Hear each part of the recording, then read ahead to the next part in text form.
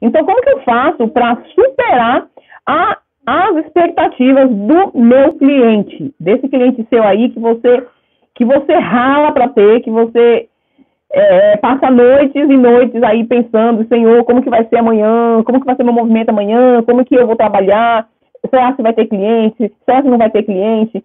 Então, assim, para que você tenha esse cliente com você, vocês precisam superar as expectativas dele a partir do momento que ele adentra dentro do seu banho e tosa. Então, a partir do momento que eu fiz e, e, e, cuidei dos meus clientes, tratei os meus clientes com carinho, tratei os meus clientes com amor, consequentemente esse meu cliente ele voltou e ele trouxe muito mais gente. Então, quando esse cliente traz muito mais gente para mim, isso, isso quer dizer que eu consegui realizar mais sonhos e tudo isso porque eu tive uma perspectiva diferente que o meu concorrente tem.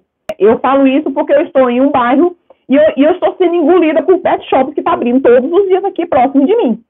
Mas cada pet shop que abre são pet shops que estão trazendo pessoas, são é, gestores que não têm a noção do que é um banho tosa, né? É uma pessoa que saiu de uma faculdade frustrada, ou muitas vezes nem é, eu, quando falo uma pessoa frustrada, não é, é, é, é, o curso que ela não queria fazer. Muitas vezes você faz um curso numa faculdade para agradar o seu pai, para agradar a sua mãe.